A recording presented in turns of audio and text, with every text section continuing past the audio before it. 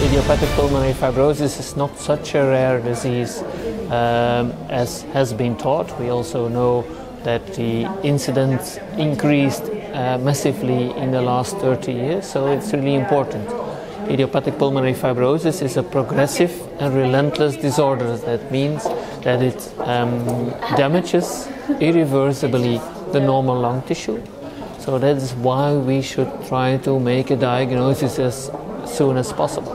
And I think we need to involve all, everybody, general public, patients, relatives, GPs, um, pulmonologists, and specialists in interstitial lung disease. It's important that um, if uh, a patient has some shortness of breath, um, that you also see whether there is some cough, um, if there is any finger clubbing, that are all signs pointing to fibrosis. It's important if um, anybody, a healthcare provider, listens to the lungs and he hears bilateral basal crackles, comparable with opening uh, a Velcro, um, that they realize that this is serious.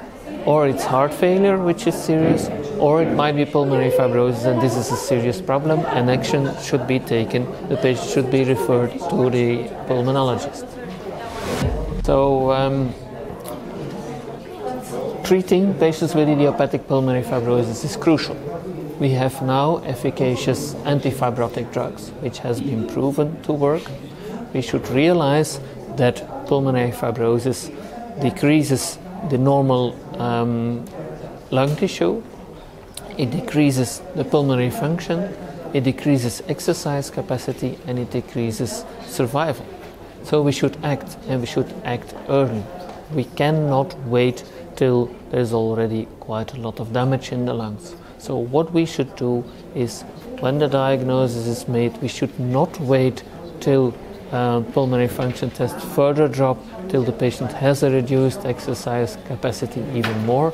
From the first symptom, the first sign of pulmonary fibrosis, it's important to start treatment and do everything possible to stop or uh, prevent further decline of the lung function.